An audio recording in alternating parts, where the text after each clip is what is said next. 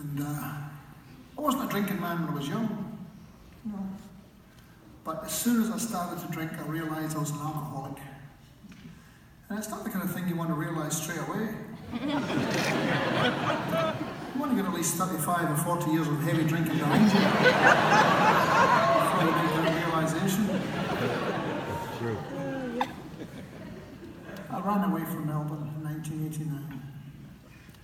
Ran away to California. All my friends would say to me, what are you going to what are you going to go live there for, mate? You're fucking mad, mate, you're mad. stay here, mate, stay here. You're fine, mate. You're not an alcoholic. You're just one of us. but I don't know if you've ever tried to stop the drink, but it's quite difficult. America, uh, I mean, there's alcoholics here, obviously, it's not as, it's not big, it's not as big a drinking country as, as, those other two countries.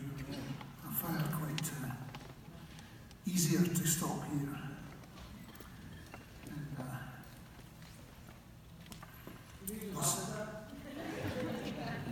what? I didn't hear what you said. Maybe that's a good thing. So that first song I played uh, is from an album of mine called Fierce Mercy, and it came out a few months ago.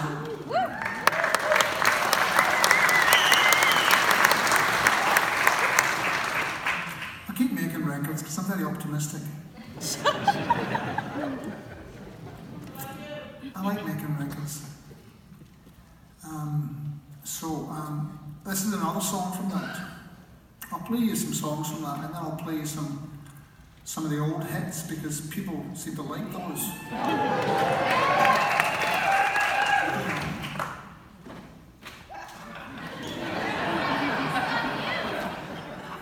Sometimes people go, you know, if I, if I haven't played a Men at Work song for a while, you know, for half an hour in the shirt of the set, sometimes people go, hey, play Down Under. I thought that's a good idea, I hadn't thought of that.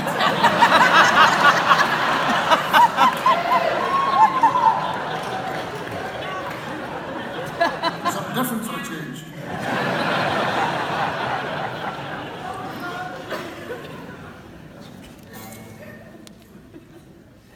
So this is a song called Come Tumbling Down. And, uh, I do get the impression that things are just tumbling down. Yep. I've been thinking that since the 70s and right now I think they really are fucking tumbling down. Sometimes it's good when things are tumbling down, just have a wee dance. It doesn't kill it, but it helps.